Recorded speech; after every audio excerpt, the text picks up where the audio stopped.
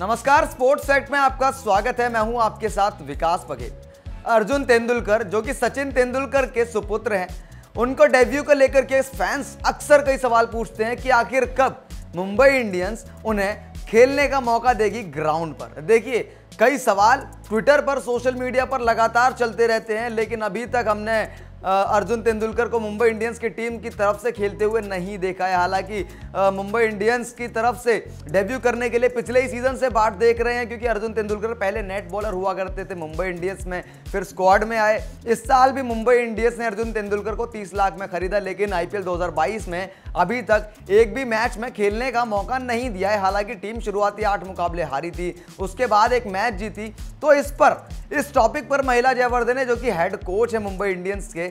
उनसे सवाल पूछा गया तो उन्होंने बखूबी जवाब दिया और सब कुछ समझाया। और एक इशारा यह भी किया कि अगले मैच में उनको डेब्यू करा सकती है मुंबई इंडियंस अगले मैच में जो कि शुक्रवार को होगा गुजरात टाइटन से। उस मैच में अर्जुन तेंदुलकर को मौका दिया जा सकता है। क्या कुछ कहा महिला जयवर्धन ने? आपने आपको सब कुछ बताएँगे। आप वीडियो को लास्ट तक ज़रूर देखिएगा।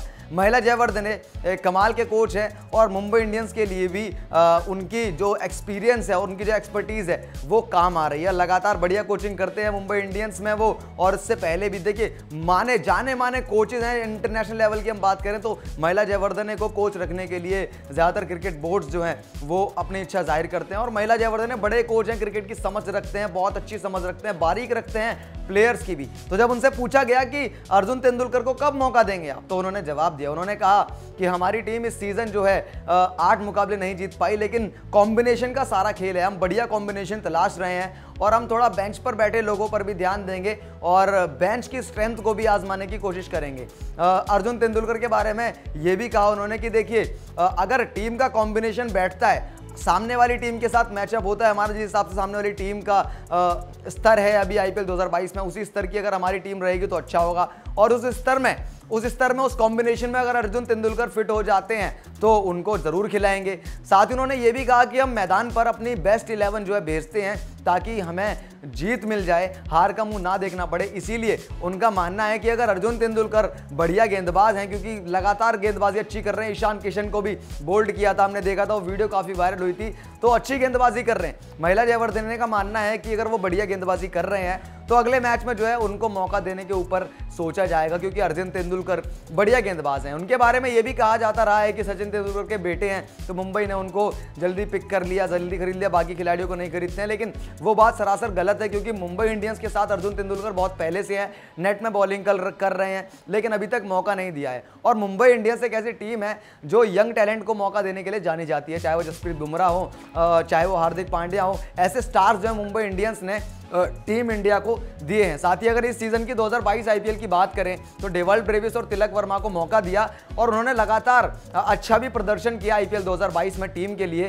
तो न्यू न्यू यंग टैलेंट को मौका देने के लिए मुंबई इंडियंस जानी जाती है। अब अर्जुन तेंदुलकर भी न्यू टैलेंट हैं और नए गेंदबाज हैं। डेब्यू के लिए देख रहे हैं कि कब टीम डेब्यू कराए। हालाँकि चाहे उनके पिता चाहें तो कभी भी करा सकते हैं, लेकिन कभी भी उन्होंने इस चीज़ का इस्तेमाल नहीं किया।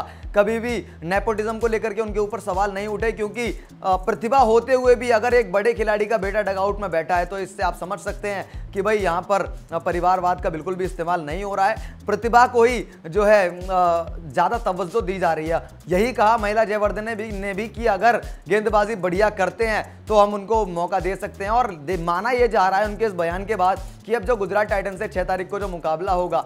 उस मुकाबले में मौका दिया जा सकता है अर्जुन तेंदुलकर को। तो अब देखने वाली बात यह होगी कि क्या मुंबई इंडियंस गुजरात टाइटंस के खिलाफ होने वाले इस मैच में मौका देती है अर्जुन तेंदुलकर को या नहीं, क्योंकि महिला जयवर्धन ने तो कह दिया है कि अगर टीम के कॉम्बिनेशन में फिट बैठेंगे तो ज़रूर मौका देंगे। और एक तरफ़ फैंस राह भी देख रहे हैं कि अर्जुन तेंदुलकर की गेंदबाजी हमें कभी तो दिखाइए तो देखते हैं कि मौका देते हैं नहीं देते हैं। बाकी आप किस तरीके से देखते हैं महिला जयवर्धन के इस बयान को? आपको क्या लगता है क्या मौका दिया जाएगा अर्जुन तेंदुलकर को या नहीं? आप हमें कमेंट करके बताइए। वीडियो को लाइक कीजिए स्पोर्ट्स और आईपीएल से जुड़ी तमाम खबरों के लिए चैनल को सब्सक्राइब कीजिए। और हमेशा की तरह इस वीडियो को देखने के लिए आप सभी का बहुत बहुत शुक्रिया।